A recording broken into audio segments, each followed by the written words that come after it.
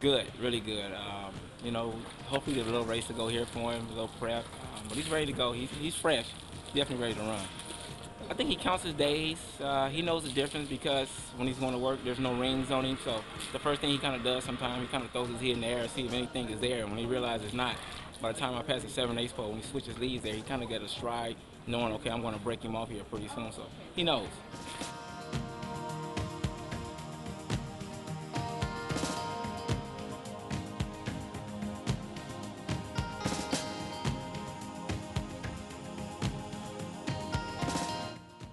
Smart ones. It is. Uh, you know, they they know the difference. Uh, the way the stirrups sit on them or whatever, you know. He knows days I'm just going to jog him or gout him. I drop my stirrups down the long on him and just kind of get him to relax. When I jack him up, he knows his business.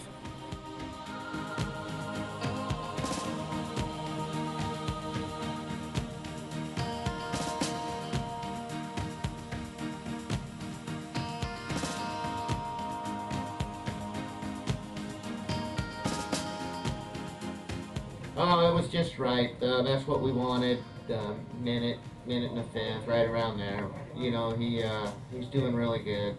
Couldn't be happier with his training right now, and uh, looking forward for a big day in uh, December 17th at Los Al. I miss him, but you know, I'm also looking forward to him being a stallion because uh, TaylorMade's got some very good mares lined up for him to breed to, and I, I think they're going to make him a really good sire.